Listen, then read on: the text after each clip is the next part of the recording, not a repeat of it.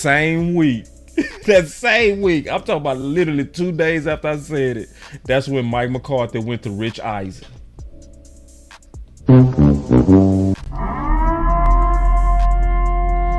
And I'm telling you right now, they keep playing these games with Dak.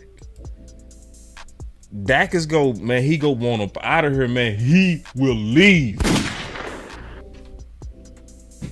See, you ain't gonna keep treating me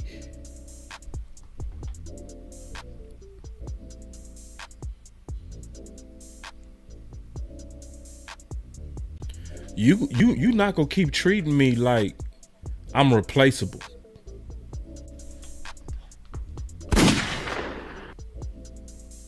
You not.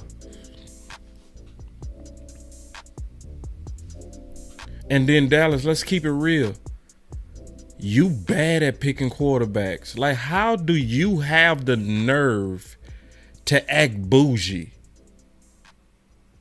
And you wanted Paxton Lynch.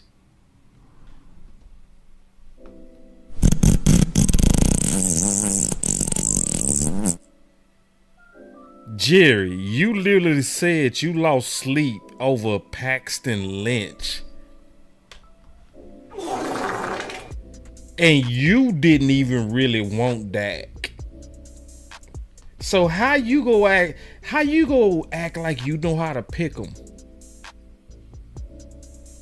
And it wasn't even Paxton Lynch. They wanted Connor Cook.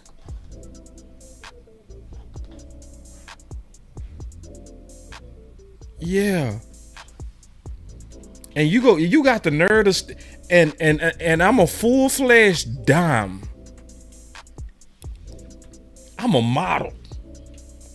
I'm a full fledged 12. And you treating me like I'm a four? Bruh. And I'm the only one that's getting treated like this?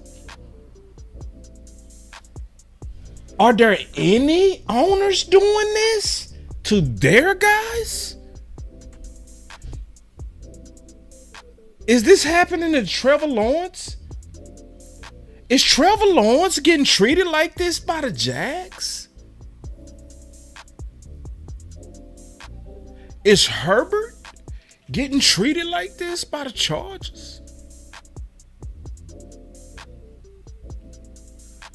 Even Hurts, is he getting treated like this by the Eagles?